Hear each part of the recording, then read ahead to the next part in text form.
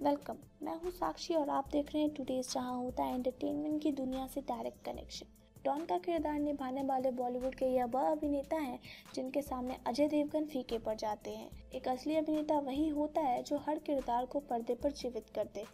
आज हिंदी सिनेमा में ऐसे कई सितारे हैं जो विलन और अभिनेता दोनों ही किरदारों को पर्दे पर बखूबी निभाते हैं। ऐसे ही एक अभिनेता हैं दोस्तों, अजय देवगन ने once upon a time in Mumbai film में एक डॉन सुल्तान मिर्ज़ा का किरदार निभाया था।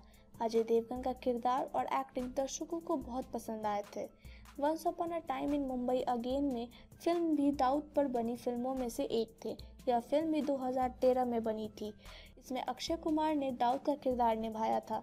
2002 में अजय देवगन की फ़िल्म कंपनी भी दाऊद पर बनी फ़िल्मों में एक है।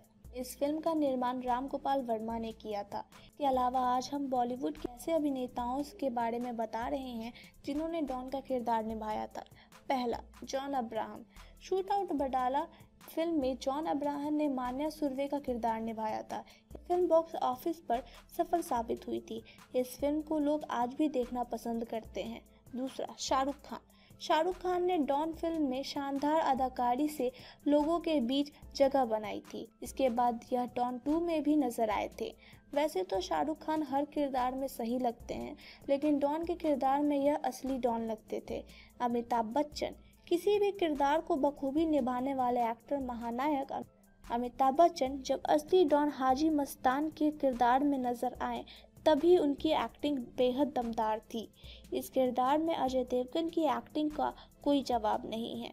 दोस्तों, आपके अनुसार डॉन का किरदार निभाने में अजय देवगन इसमें किस अभिनेता के लिए फीके पड़ जाते हैं? कमेंट में जवाब दें। Thank you so much keep watching for more news entertainment and update